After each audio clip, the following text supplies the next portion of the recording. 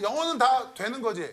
뭐 텐이나 루카스, 마크 마, 크 는 뭐 될 거고. 뭐, 뭐 기본적인 것들만. 오, 백현이 기본적인 영어 한번 보여주시죠. Hi guys, we're super.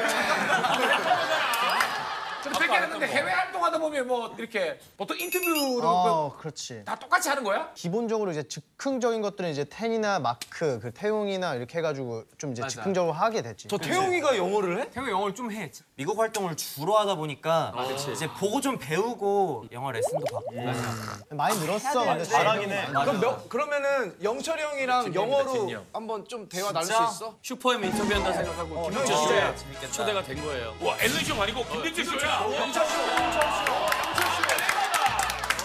Hello, ladies and gentlemen. This is Kim Hyung-jae's Too Much TV. So now, uh, ladies and gentlemen, Super M is back.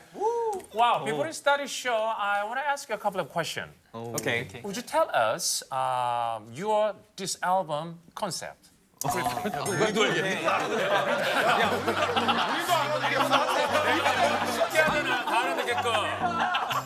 잠깐만, 있어봐. 백현이 알아들었어? 어, 나는 뭐 알아. 해봐. Would you tell us 코. concept of this your album?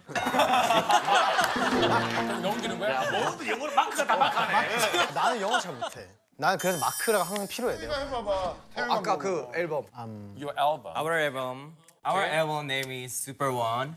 Super One is meaning is Mark.